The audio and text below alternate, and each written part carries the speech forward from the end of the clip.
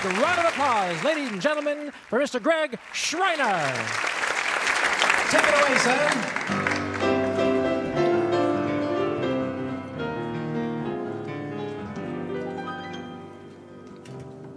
There may be trouble ahead, but while there's moonlight and music and love and romance, let's face the music and dance.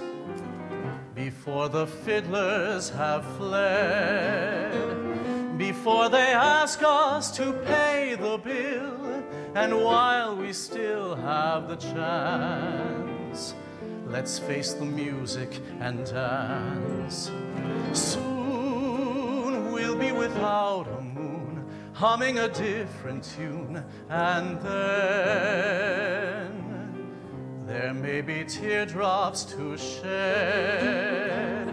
So while there's moonlight and music and love and romance, let's face the music and dance, dance. Let's face the music and dance.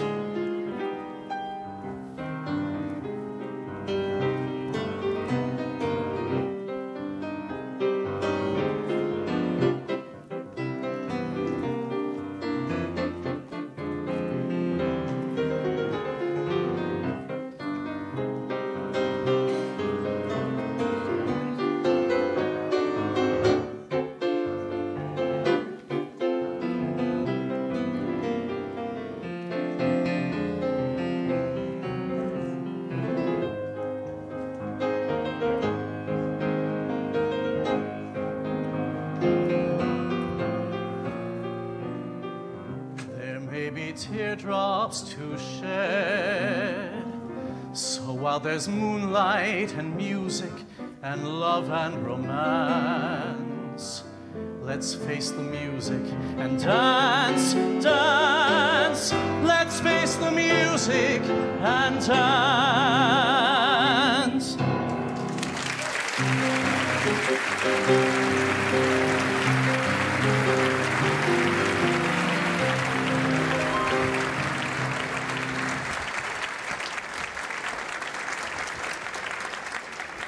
Good evening. I'm Greg Schreiner, and what you have just seen is a taste of my show, Hollywood Revisited. Before we go any further, I'd like to introduce to you Elisa Sermont, who just did the Ginger Rogers dancing. Yay. I wanted you to see this gown up closer here because this gown weighs 35 pounds. It is very heavy. But you know what? Fred Astaire hated this dress because the sleeves kept slapping him in the face. I'm serious, and it hurts. It does. But Ginger didn't care because she looks so beautiful in it. But watch the movie, you'll see Fred get hit several times. Thank you, Elisa.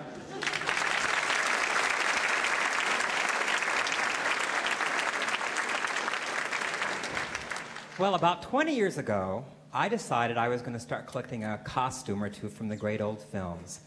And I woke up a few years ago and I discovered I had 300 of them in my closets. so I thought, I've got to do something with them. So I've combined the old costumes with some of the great music of the past into my show, Hollywood Revisited. And in fact, we just got back from touring Europe and the Cannes Film Festival. And I must tell you, people love the old movies in Europe. They absolutely remember them and they worship them and they remember how great those movies were. Yeah. They don't make them like that anymore. And they don't make costumes like this anymore. Um, I don't need to tell you these days the studios don't even have costume departments. So it's a very different world, very different world indeed. But we're grateful there's a few things surviving to share with you again today and bring back hopefully some wonderful memories. And speaking of memories, I love the 30s. I think that's one of my favorite eras of, of costumes and movies. They're just such wonderful deco-looking things. And they had great designers back in the 30s, people like Adrian and Walter Plunkett and Travis Banton. These were major designers that did the most amazing, one-of-a-kind designs that you'll never see anywhere that were totally impractical to wear, but it didn't matter because they looked so great on the screen. And that's what really counted. So I'm bringing you a few things tonight uh, of that era, and I, I, hope that it'll bring back a few memories. And I'd like to bring back to the stage now Todd McCoskey, whom you just heard singing a minute ago, and he'll be bringing on the women, and they're going to be wearing clothes either from movies based in the 30s or actual 30s movies. Todd Makovsky.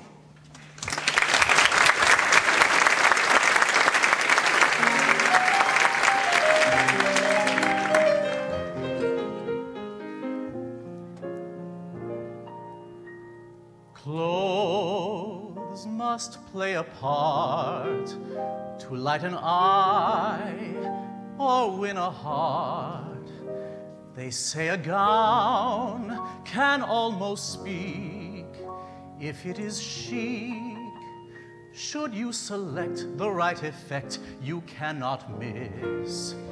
You may be sure he will tell you this. Lovely to look at, delightful to know, and heaven to kiss.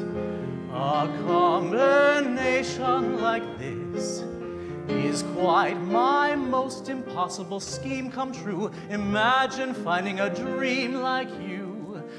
Lovely to look at. It's thrilling to hold you terribly tight. For we're together, the moon is new, and oh, it's lovely to look at you tonight.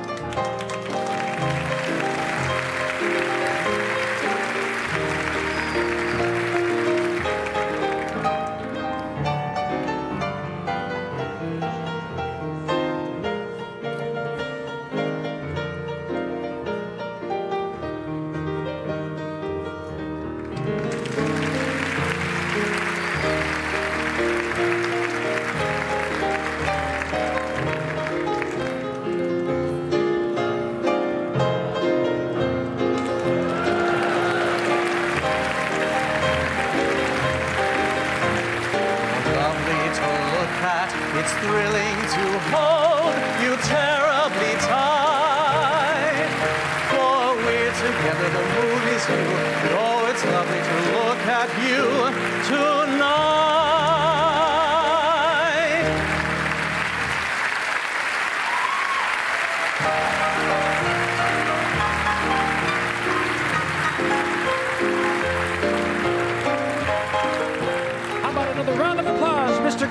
And all the fabulous models tonight.